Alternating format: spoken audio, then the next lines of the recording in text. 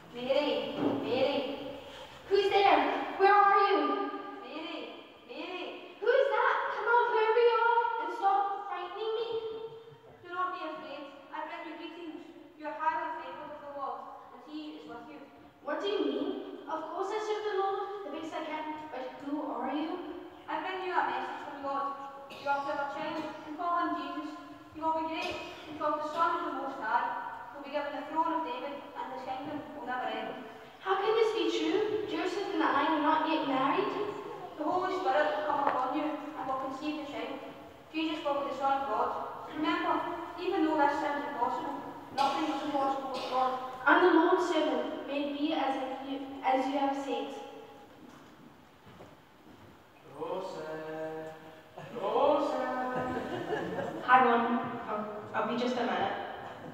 Joseph, Joseph. Just, just wait, I'll be right with you. Joseph! What? What is it? Joseph, not be afraid. You are an honourable man, chosen by God. I've come to tell you that Mary is your child, and you are to call him Jesus, because he will save his people from their sins. How can this be? We are not yet married. How could you do this to me? Don't, don't, don't, don't worry, don't worry. Be afraid to take Mary as your wife. The child that she will have has been conceived by the Holy Spirit. This will fulfill what the Lord said through the prophet Isaiah. The virgin will be with child and will give birth to a son, and they will call him Emmanuel, which means God with us.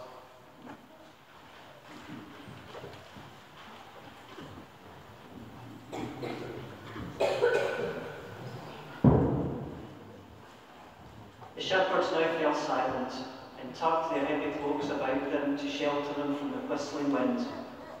Their eyes were accustomed to the blackness. Every few moments they would look up to scan the hills for wolves or thieves. They weren't about to lose sheep by being, by being careless. All of a sudden, their hillside was flooded by the light of a thousand lamps, blinding them with its intensity. When they could finally see, a man in shining apparel stood before them. Don't be afraid, he declared to the ringing voice of a herald. I bring you good news of great joy that will be for all the people. Today, in the town of David, a deliverer has been born to you. He is the Lord's Messiah. Now the shining angel drew himself to full height, and as he opened out his arms, the radiance and glory upon him began to spread until it covered rank after rank of angels, the heavenly host, the army of God Himself. More and more, company after company, battalion after battalion, they began to fill the sky. And now they began to chant and shout in unison Glory to God in the highest. The sound bounced off the hills and echoed from the valleys like a rumble of thunder, like the roar of a great waterfall.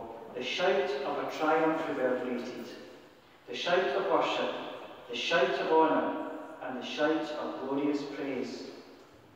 Glory to God in the highest, they shouted together with one enormous voice of worship. Glory to God in the highest, they chanted in unison, the overwhelming resonance blotting out everything else and infecting shepherds with its utter joy. The host of God, overcome with awe at the archangel words, now shouted again, Glory to God in the highest, and on earth peace to those whom God has favored.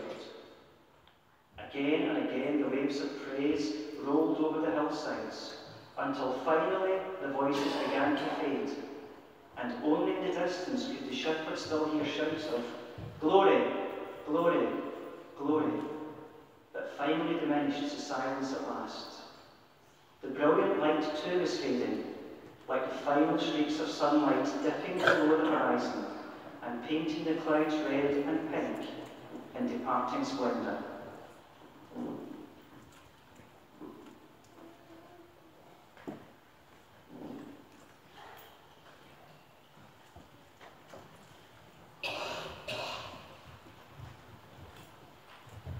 when I was like,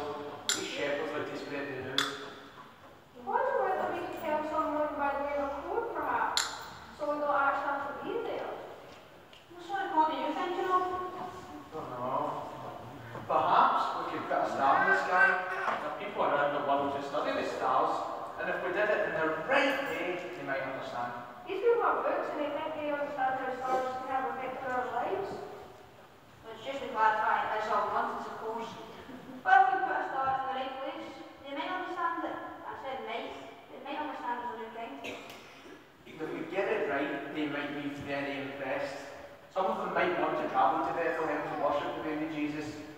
Take my while to get there though, with all the roadblocks.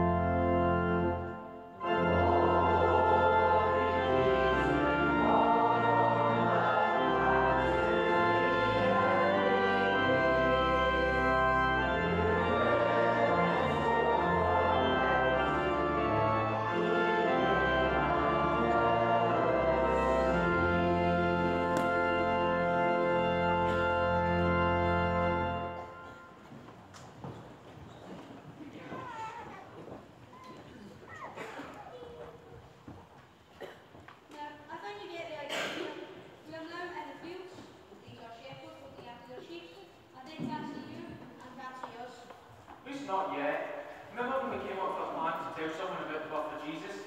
But well, hold on to your seats. Diseased shepherds are not going to know what's happened. Just going to cover what happened earlier. Do you remember, do you remember when we put that storm to the ground? Well, ours went from the east and they're on their way going to worship the newborn kingdom with gifts of gold, frankincense, and myrrh. Did I just hear something? Sounds like someone talking.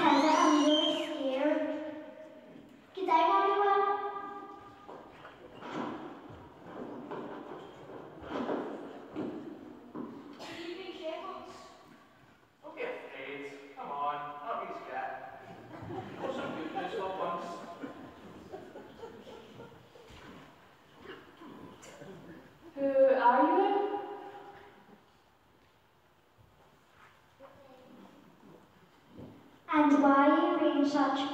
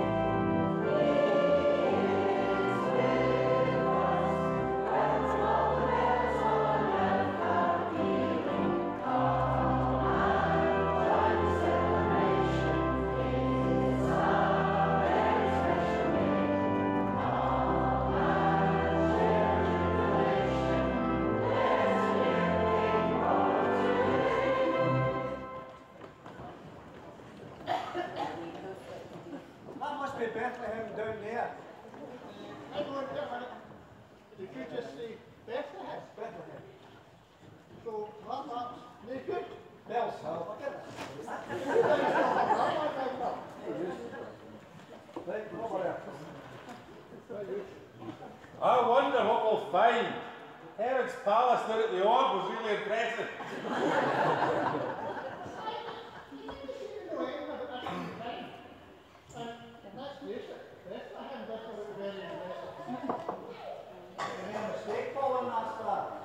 No, I think the message from the star was clear, and the people in the palace are quite sure that the Hebrew scriptures point to a king to be born here in Bellshill. Wait a minute. You can't be allowed because I had Bellshill marked. You're listening to Bellshill in your Bethlehem. Maybe it was Glasgow, I don't know. The last one in there, see what the signs in here. Listen, the last star I followed was a great bear.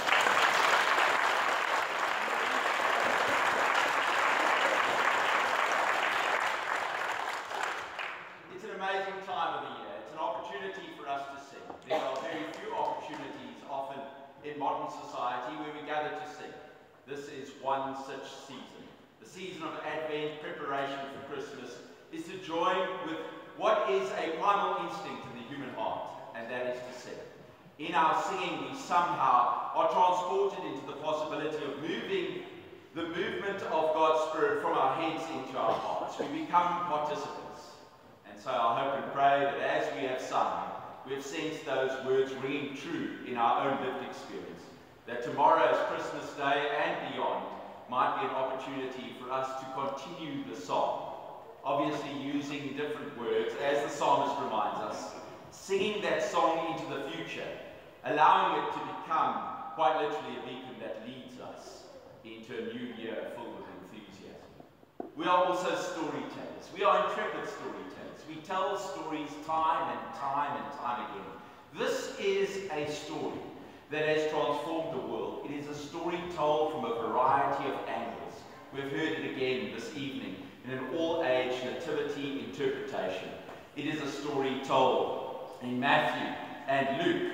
It is a story told in a different way through John's Gospel. It is a story that involves something of the strands of Mark's Gospel. It is a story told repeatedly through the witness of the early church.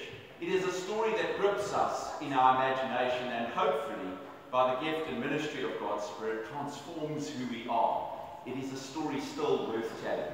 And so my hope and prayer for you as you gather for Christmas tomorrow is that you tell family stories, yes, but that you will also share stories of connection, of belonging, and of meaning. And so my hope and prayer for all of us is that somehow the kindness, the grace, and the tenderness of God will touch us this Christmas season. I had the privilege of being at another, another nativity interpretation at Bellshill Academy earlier in the week. And one of the songs they sang was a song by Francesca Battistelli, who is a wonderful singer.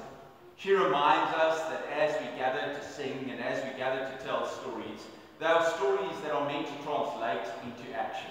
They are meant to be indicators of the possibility of heaven brought close to earth. Tomorrow, with wide open wonder, whether we are children or not, hopefully we are all childlike.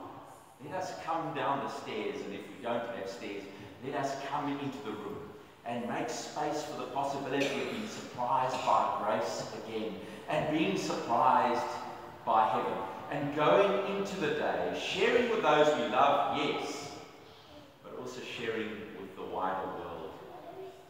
It's funny how it takes a holiday, sings Battistelli, to show us how the world could truly change.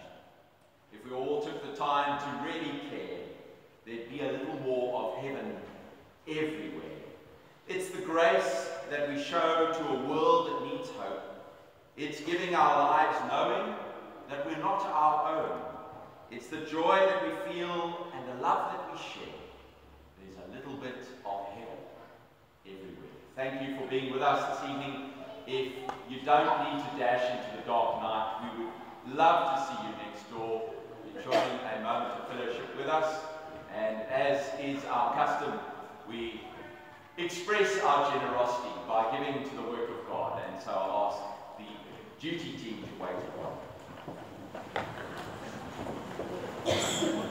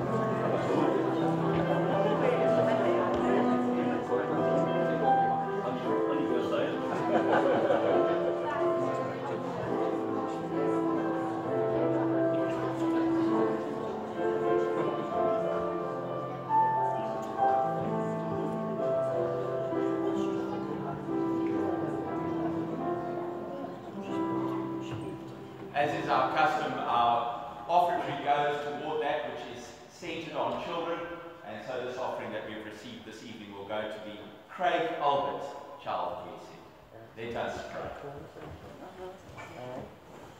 Gracious and loving Lord, this is a season for children, yes, and for the childlike in each one of us.